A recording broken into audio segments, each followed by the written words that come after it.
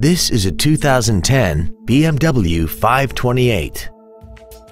This car has a six-speed automatic transmission, a 3.0-liter inline six-cylinder engine. Plus, having just come off lease, this BMW is in like-new condition.